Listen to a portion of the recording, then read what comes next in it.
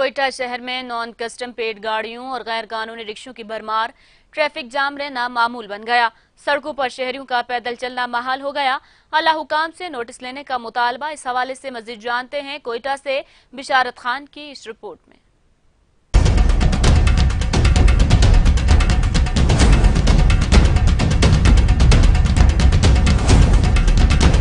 कोयटा शहर में आबादी बढ़ने के साथ ही ट्रैफ़िक के मसाइल में भी इजाफा होता जा रहा है। शहर में नॉन कस्टम पेड गाड़ियाँ जगह जगह नजायज तजावजात और गैर कानूनी रक्षों के बाद शहर में ट्रैफ़िक शदीद जाम रहने लगी, जिससे शहरियों का रोड से गुजरना तक महाल है। रक्षों की तादाद को मद्देनजर रखते हुए डी पुलिस ने रक्षों को दो शिफ्टों पर चलाने का ऐलान किया। ताहम रक्षा ड्राइवर कहते हैं, इस महँगाई और बेरोजगारी के दौर में दो शिफ्टों में रक्षे चलाना हमारा माशी कतल है, जिसको हम किसी सूरत बर्दाश्त नहीं करेंगे।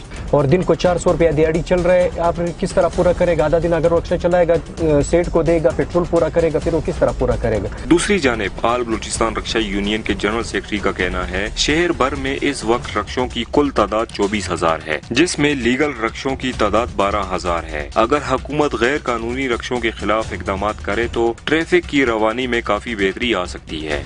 देखिए ना, जब ये दो नंबर रक्शे बंद हो जाएँगे तो फिर तो इसकी ज़रूरत भी नहीं पड़ेगी, क्योंकि आज कोयटा शहर बहुत बड़ा शहर बना हुआ है। ओरिजिनल रक्शा जो से बारह हज़ार, अगर आप हर इलाके में दो दो हज़ार, ढाई ढाई हज़ार चला जाएँगे तो शहर में तो ये रक्शे नज़र भी नहीं आएँगे।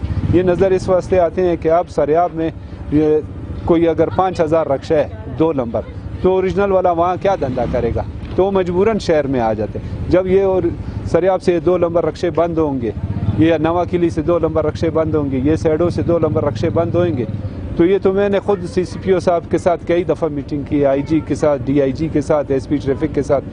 ये सेक्रेटरी आर टी ए के साथ हमेशा मेरी यही मीटिंग होती है कि दो नंबर रक्षा जब आप बंद नहीं करोगे। मैं तो ये बार बार उनको बोलता हूँ कि अगर दो नंबर रक्षे में कोई खुदा न खास्ता वारदात होगी तो इसका जवाबदेह कौन है? इनका मजीद कहना था, ट्रैफ़िक की रवानी को बेहतर बनाने के लिए हुकूमत गैर कानूनी रक्षों और नॉन कस्टम पेड गाड़ियों के खिलाफ ठोस इकदाम करे, तब ही ट्रैफ़िक की रवानी बेहतरी की तरफ़ जा सकती है। कैमरा टीम के साथ बशारत खान, 51 न्यूज़, कोयटा।